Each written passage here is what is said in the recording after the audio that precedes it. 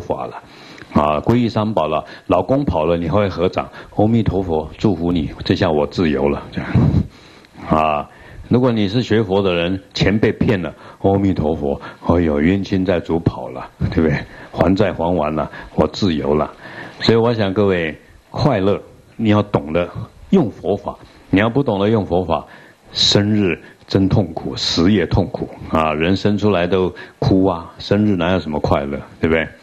所以死也更痛苦。但是你懂佛法，生是快乐，我可以来做菩萨了；死也快乐，我要去净土，然后我可以趁愿再来继续做菩萨了。所以观念这个叫佛法啊！我们以前用我的想法，都在制造纷争、贪嗔痴，我爱我恨，我跟你对立，我要占有你。啊，就像一个女人爱上一个男人，全世界的女人都不要接受我的爱人，因为我怕被他抢，啊，所以那你就变成你没有还没事呢，你有了还有痛苦了。就像我现在是个出家人，一个女人跑来说：“师傅，我就一直跟你一辈子。”哦，你们贪哦，哦，你会吓死我了。我离开我太太，花了九牛二虎之力，你还来缠我，啊！但是世间人不懂啊，还有个美女找你，有个帅哥找你，这是我的光荣啊。哎，你看无名跟名就差在这边啊，所以各位哦，你女儿十八岁很漂亮，男人追她，那叫可怜呐。你要跟你女儿说，那些男人都像流浪狗一样，色鬼啊！啊，他只享受你的皮肤跟性感，他要找你干嘛？他找你念阿弥陀佛啊！你要讲给他听，不然他以为我很光荣哎。你看每个男人都在追我啊，啊，我很有钱啊，每个女人都在找我啊，那是利用你的钱。对不对？因为你开一部什么什么双逼的，对不对？你开个脚踏车，看他追不追你？啊，你没有身材，没有一点点皮肤，你看他追不追你？啊，但是很多人就讲，啊，那我说要弄漂亮一点，不然别人不会看我；我要弄得有钱一点，不然别人不会羡慕我。你看他可不可怜？啊，就像在监狱里面建房子，那个监狱你还在里面建房子、结婚、生小孩，明明是痛苦的。所以各位，我想真正的房子在哪里啊？所以有一次人家问佛陀：“佛陀，请问你住哪里？”佛陀说：“念一下示范住。”为什么叫示范住？我住在慈悲喜舍的家，慈悲是我家，好不好啊？所以各位，今天你来这边慈悲几分钟，快不快乐？慈悲是我家，等下赶快离开，不然要扫地。哦，要守房子。我又又怕小偷来，啊，然后你就会很烦呢，啊，所以就像各位爱上你的儿子跟女儿，你已经不自由了啊，绑了狗链子了，啊，母亲一百岁，长忧八十儿，你哪有快乐啊？你被抓住了，但是不要你放弃，什么意思？把爱你儿子的、爱你女儿的，去爱所有生命，好不好？昨天那些鱼可不可爱？可爱啊，啊。现在过来的苍蝇，你不要把它挥走。来吸奶，你最好在脸上抹一点口水。来来来来，这是最好的蜂蜜，啊，所以因为你爱他，你就不会把它挥走了，了解吗？连对方的口水你都要喝，你看你多爱他，啊，所以那各位要改变你的思想，改变你的思想，你就没有痛苦。也希望各位念一下：活在澳洲。如果你觉得你花了这么多钱来澳洲，觉得它好美，然后你永远放在心里就好。你走到哪里都变成那个心态就好了。所以念一下：心在极乐，自然爱洒众生。如果你心中有佛法的人，有慈悲的人，有净土的人，对你来讲，你呢心里永远在净土。然后呢，你可以下地狱，因为我要把净土给地狱的人，我要把。净土给恶鬼道的人，所以我想各位，你可以去享受快乐，但这个快乐不是独享，是你要把快乐布施给众生。好，那这样各位了解啦。我们念一下“烟供具之法”第几页？等一下吃饭，我们都要觉得很好吃，好不好啊？这是礼貌。我每次要交代人家啊，人家煮了老半天，一直在看你的脸色。只要他过来，嗯嗯嗯，赞，好，他下回就赶快又煮给你吃。你给他抱怨，就像一个女人不会做女人，天天抱怨她老公，她老公真的会气死。啊，男人真命苦，一个老公不会做男人，天天抱怨他太太，他老婆也会气死，咔嚓老那样。对我认识一个男生，我常讲这个故事。他每天出门出去跟他老婆拍一张相片，他老婆为了要让他老婆老公拍相片，每天只好换一套衣服。那所以呢，他跟他老公抱怨说：“所以你要好好赚钱，不然我每天要穿同一件衣服来。”所以呢，那一位太太就永远不老啊，啊，然后呢，夫妻关系就永远好啊，对不对？因为她知道哪一天她老公不跟她拍照，一定她讨厌他了。所以这位伟大的老公这样。没事就给他拍照，拍到老，了解吗？所以后来他老婆发了一个愿，他说：“老公啊，哪一天我死了，都要脸很漂亮让你拍照。”他说：“好。”结果他死的时候啊，我告诉个，真是的，身体都已经没肉了，他那个脸还是很漂亮。我都去看他，他那个脸还是很漂亮，因为他发的愿嘛，啊。所以她的老公也觉得很欢喜，他老婆一定升天了啊！所以我想各位，你发的一个善愿，你可以帮助别人。请翻到几页？三十一页。我们弄一顿好吃的给大家吃，好不好啊？现在锅已经热了啊！这个布施甘露啊，不得了啊！你每次布施给他们，呃，先先看一下。三十五页，烟供功德，啊，为什么要这样做啊？他功德在哪里啊？里面在炒菜，我们外面也在炒菜，里面炒菜是给我们这几个吃，我们外面炒菜是供养上供下施，我们功德更大，啊，但是要炒的好吃。什么叫好吃？你有悲心，有柔软心，有最大的爱心。那个枕头能不能拿走？这样拍很难看。机会教育最美的地方要弄美一点哦。烟供功德，大家念大字就好了，因为戴着墨镜跨不了。三十五页来一，帮助鬼道与非人啊，非人啊，鬼道啊，很可怜的鬼道，鬼道的生命一百七十万年没水没得吃哦，啊。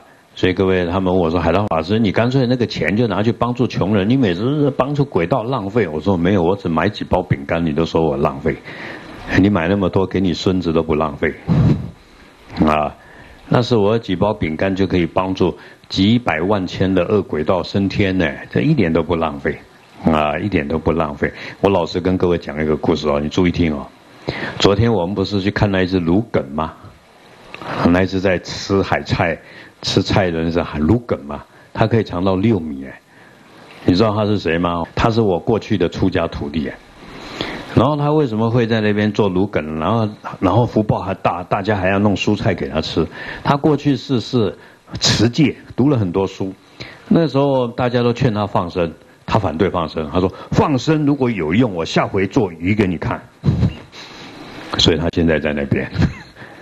那他就讲这句话：放生如果有用，我做鱼给你看。啊，因为他毕竟没神通啊，他不了解放生的功德啊，他居然还诽谤放生。现在自己好好做鱼，但是因为他出家持戒，现在还是有福报了。大家供养他，你看他五六个人天天在弄一大堆白菜给他吃，啊，把他保护好。那是因为他就卡到这句话，他就卡在那边了。所以我想各位在这一点啊。我们对任何好心的事情都要随喜，我们没有做，但是要随喜别人呐，因为他真是在帮助鬼道以非人，啊，所以有人跟我说：“师傅不要烧金子。”我说：“你不要乱讲哦，你眼睛有看到吗？你有打坐吗？你不能用你的分别知识去认为说烧金子，烧金子鬼道很欢喜的，因为它是一种悲心，了解吗？”啊，你老公给你一颗钻戒，事实上也没用，但是你高兴就好。啊，所以我想各位在这一点，那你要按照按照佛经来讲话，不能按照自己的想法来讲话。第二个，解除冤敌，啊，那你的冤亲债主，甚至各位本来这几天，所以我们每天出来都要做布施，布施水，布施米，到哪里三更半夜。昨天我听说领队被压了，压了三次，有没有被压到啊？啊，我这两天，昨天还好睡，前两天不好睡。到山上，我跟你讲都不敢跟各位讲，那住的房间里面有人自杀过，哎，有一个女孩子被捅死在床上，不知道是哪一间，搞不好是你那一间，啊，然后我们占言法师在那边打坐，他就看到了，然后他就问我，对不对？所以我们三个那一天没什么睡，超度啊，你们好好睡，我们来超度。外面还有很多那些原住民在南山，原住民的女人脱光光，没穿衣服，胖胖的，然后呢下体在流血，你知道为什么吗？因为古时候穷啊，他们生小孩难产而死，小孩也死，妈妈也死，所以趁这几个和尚来，他们就来求救了，来帮忙了，啊，所以那时候我们在言师为什么女人胖胖的还流血？我一想就知道了，我说原住民啊，啊。所以，所以我想各位看起来一栋好的房子，但是无形的众生多不多啊？多，到哪里都一样啊！这不是说你是不是佛教徒啊？到教堂我们要去超度啊！所以，事实上来找你的都跟你有缘，不然他看不到你，你看不到他，你感受不了他啊！所以你晚上睡觉，他来压你一下，一定是你跟他有缘。就像我去医院回来，有时候会。鼻子怎么闻到药的味道？怎么洗鼻子也没用。哦，原来一个生病的老人，一直吃药而死的老人跟着我。那为什么？因为我跟他有缘嘛。有人问我说：“师傅，你不是修得很好吗？你们持戒啊，这个鬼怎么还跟着你？”哎，慈悲才是戒啊，还有缘。就像我看到那只芦梗，我对他特别有感受。我想几百世的轮回，你看到你过去的妈妈，看到你过去的儿子。那你一定会多看他两眼，没有别的方法，你就多看他两眼，所以才知道哦，原来他跟你有缘。所以各位在这一点，我们没有神通，但至少要相信。念一下无缘大慈，同体大悲，啊，反正你现在走到哪里，帮我们开车的司机啊，帮我们整理饭店啦，在在在餐厅里面帮你端一个饭的，乃至老板啊，欢欢喜喜煮个饭给你吃啊。都跟你有因缘的，我们是来续前缘的，要了了解这个观念。会走到哪里不要得罪人，对他好，回向给他，所以解除续的。第三，清净恶业，你供养诸佛、布施众生，也在消自己的业障啊。消像你布施，过去你有偷盗，你现在布施可以消除你过去悭贪、偷盗金钱的恶业，你现在布施可以消除你。金钱债主的恶业，翻过来。第四，健康长寿，大家来比赛，谁慢一点死，好不好？还是你要比赛谁先去极乐世界？反正只有两条路，要么先去极乐世界，要么慢一点死。跟昨天那个老人，九十六岁呢，还在登山呢，还娶一个少他十几岁的漂亮的八十岁的太太，两个感情多好。老实说，你们跟他讲了老半天，那个人是我们这里面好几个人的爸爸。啊，不然你不会不会一直对他那么好，他也是依依不舍的看着我们才走，终于回到澳洲了，啊，终于看到他了，啊，所以大家吧，倾囊而出，把好多东西都要往他身上塞，还要送给他东西，所以布施帮助这些众生可以健康长寿，因为你用食物。第五，富贵安乐，跟我念一下，有钱真好。各位，下回换你买五栋这个房子，我们经常去那边什么禅修啊、闭关呐，啊，你要有福报，最有福报的是阿弥陀佛，黄金铺地了，啊，所以他让我们可以去享受他的最大的房子，到那边可以开悟，哎，可以做菩萨。第六，处所吉祥，等下汪千惠要跟各位顶礼啊，他设计我们来啊，啊，所以他就可以处所吉祥啊。以后这个地方快快乐乐了，生病的人进来身体好一点啊。我们所做的任何一件善业恶业都会留下痕迹，所以各位在每个地方啊都要去做好事，洒个甘露水，用悲心。不管你到哪一个酒店、哪一个饭店，所以我们这两天所住的饭店，特别前两天我们超度了老半天啊，啊不是说因为付钱住在那边，而是在那边我们就要很尽力。第一天晚上来，窗户一打开，外面都是鬼，嘴巴都在吐火。哎呀，我们就拜托战战战日法师拿个转经轮，拿个经幡，拿个水去外面呢，一直淋呢，啊，不然我看大家就不好睡。这就是我们领队的责任。所以昨天 Maggie 没有负责任，他众生就去去找他了。什么叫领队？我以前也搞过旅行社啊，我才知道。